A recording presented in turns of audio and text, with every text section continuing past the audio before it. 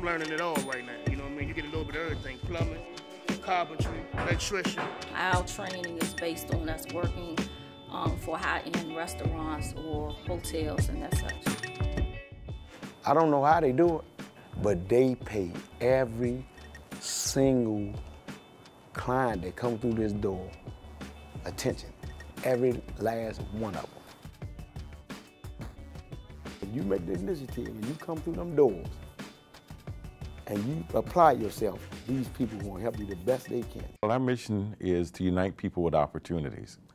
And doing so, we're also very concerned about what jobs provide living wages.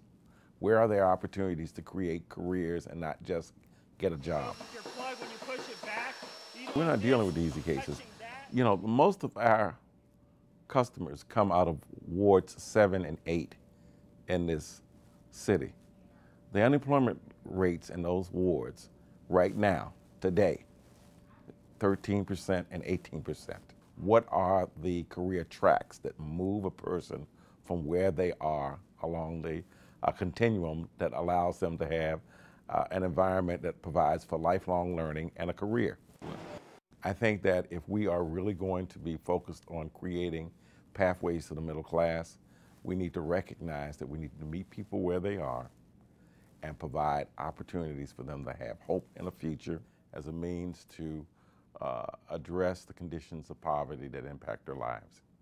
The difference with UPO is, is that our strategies recognize that every person and every family has gifts and talents that need to be uh, fostered so that they can develop into the persons they want to be. No one ever asked me how much a prison cost.